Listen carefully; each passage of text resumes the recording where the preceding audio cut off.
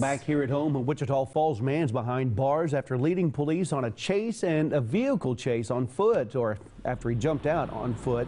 WPD says last night at around 1030, officers saw a man commit a traffic violation on Iowa Park Road right there at North Broadway. They tried to stop the vehicle, but it took off.